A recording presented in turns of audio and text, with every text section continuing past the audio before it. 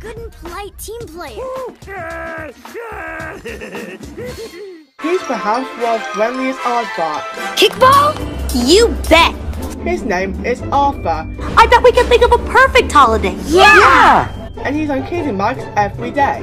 All right. Although, even when he gets annoyed with his little sister, he's always bad with his friends and family. Are you alright? We were so worried. Join Arthur every day at 5.30 p.m. on Kidimax.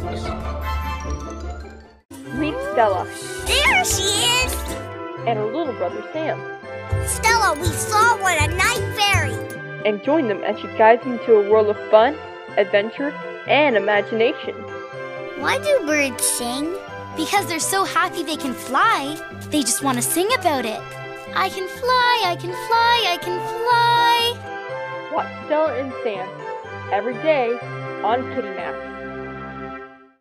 Many kids bring home a stray dog or a cat, but it's not Willa. That's me.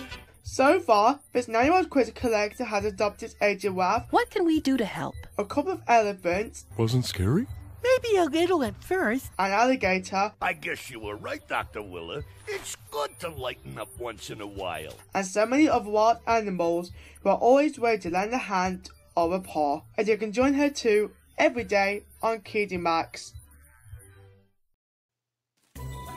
Hey everyone, we have some great news. Kidimax and its sister channels have gone all digital. But that means you can't see all your Kidimax friends through analog TV anymore.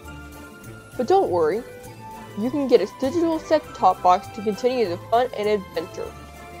Subscribers of Jcast and Bluebird Cable, as well as satellite dishes, may not be affected. Learn more at www.kidimax.com slash going digital.